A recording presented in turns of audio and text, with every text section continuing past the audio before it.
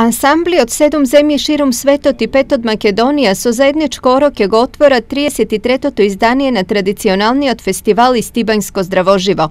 Од утре до среда виници и виничани ќе бидат домакени на квалитетни културно-уметнички друштва. Од Литванија, Турција, Хрватска, Молдавија, Бугарија, Словенија и Косово. И секако нашите домашни ансамбли од Битола, Скопје, Росиново, Каменица, предводени од домакинот фолклорниот ансамбл Китка од Истивања.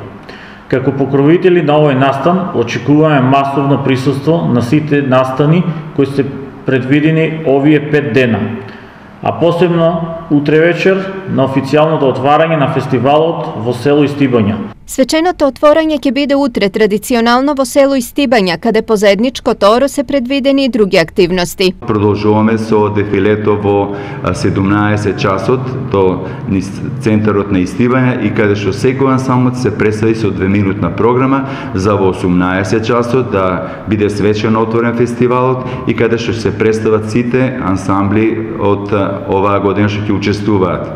Потоа започнуваме, продолжуваме со Македонската национална вечер, каде што странските учесници бидат запознаени со македонската традиција и култура. Новина од оваа година е што во недела е предвидено символично зажнејување на Ориса, потоа на плоштадот Ангел Винички, сите учесници ќе ги играат танците на народите. Ден потоа ансамблите гостуваат во Македонска каменица, а во среда ќе биде финалето на ова издание. Од 18 часот започнуваме со дефилето и на плошот Ангел Винички ќе биде е, е, свеченото затворено фестивалот со представување на сите земји учеснички и ансамблите од Македонија.